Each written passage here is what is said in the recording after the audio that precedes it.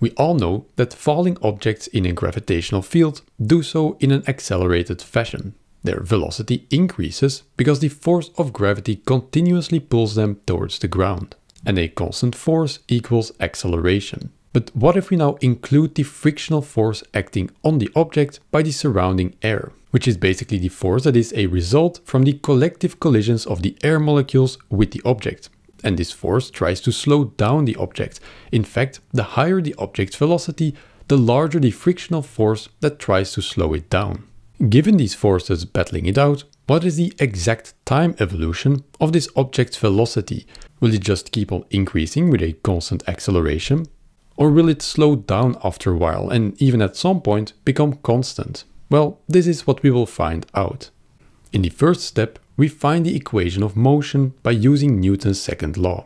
The net force is equal to the mass times the acceleration.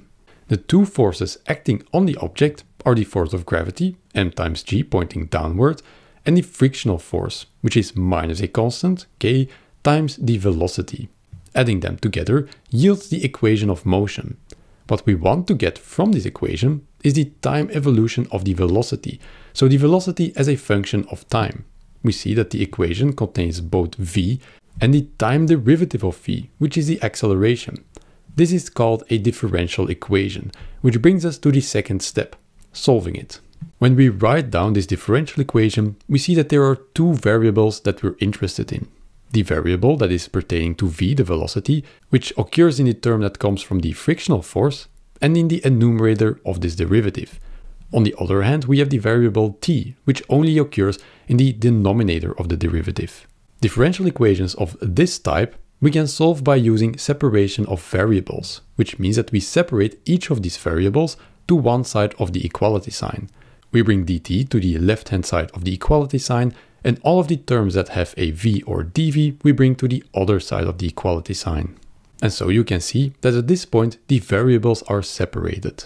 In the next step, we integrate both sides of this equality sign. On the left we have an integral over t, and on the right we have an integral over v. Now looking at the boundaries, we start on the left hand side. We start from time 0 all the way to some arbitrary time t. On the right hand side, we need to have matching boundary conditions.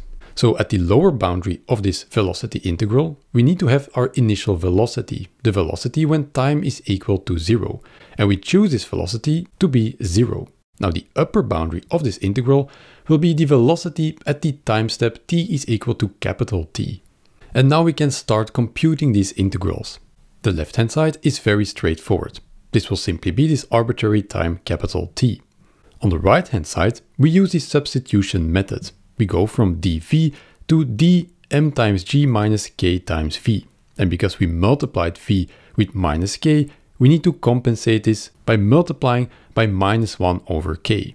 Having done this, we see that we get an integral of d something divided by that very something. And you probably recognize this type of integral, which has as a result the logarithm of that something. This makes this integral very straightforward to compute. Simply the logarithm of whatever is inside of these d brackets filled in in its boundaries. The upper boundary we simply have v being v of capital T and in the lower boundary we have v is equal to 0. So we get the difference of two logarithms. And at this point we see that we've gone from a differential equation to an algebraic equation with on the left hand side the time parameter, capital T, and on the right hand side the velocity function of this time parameter, which we are trying to find now. So what we're left to do is to isolate this v of t on one hand side of the equality sign. We know that the difference of two logarithms can be written as one logarithm. If we then bring this constant factor minus m divided by k to the other side of the equality sign, we have effectively isolated the logarithm on the right hand side. Then, in an effort to get this v of t inside of this logarithm isolated, we exponentiate both sides of this equation, because we know that e to the power of ln of x is equal to simply x. So on the left hand side, this factor with the parameter t ends up in the exponent, and on the right hand side, we finally have access to our v of t. And in our final step, we can write that v of t is equal to m times g divided by k multiplied by 1 minus this e power with t in the exponent. And this gives us our final result, the exact function for how the velocity changes with time. Now, before diving into the details and the graph of this function, there are two things to note here.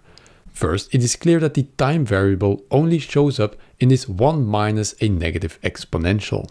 And second, this factor in front of the brackets shows the competing forces battling it out. In the enumerator, we have g from the force of gravity, trying to speed up the object, increasing its velocity. In the denominator, we have this constant k, coming from the frictional force, which tries to slow down the object. To end off, let's dive into the details and specifically into the graph of this function to see whether we can abstract any limiting cases to check whether our result actually makes sense or not. When we plot this function with velocity on the y-axis and time on the x-axis, we get something like this. We see that while our velocity does indeed increase rapidly and thus signifying acceleration at the start, it tempers off and goes to an equilibrium. Therefore, after some time of falling, we reach a constant velocity. And this is of course the terminal velocity. But what is the exact expression for this terminal velocity? Well, having our formula at hand, we can easily obtain it. Namely, we just look at the limit where t goes to infinity. Filling this in, we see that this e power becomes e to the power of minus infinity, which is of course 0. Therefore, we get 1 minus 0, which is simply 1. And what remains is this factor in front of it, m times g divided by k. And thus, for the terminal velocity, we again see this clear competition between the gravitational force pulling the object towards the ground and the frictional force trying to reduce its velocity. The second limiting case is to look at timescales that are very small, just after the object starts falling, and this is a perfect example of Taylor expansion. Let's remind ourselves that e to the power of minus x can be Taylor expanded as 1 minus x plus 1 over 2 x squared and so on and so on, for x being very very small. And in this case this minus x is equal to minus k over m times t. So if we replace this e power with the Taylor expansion in our velocity function, we get the following. And at this point this function can be looked at term by term.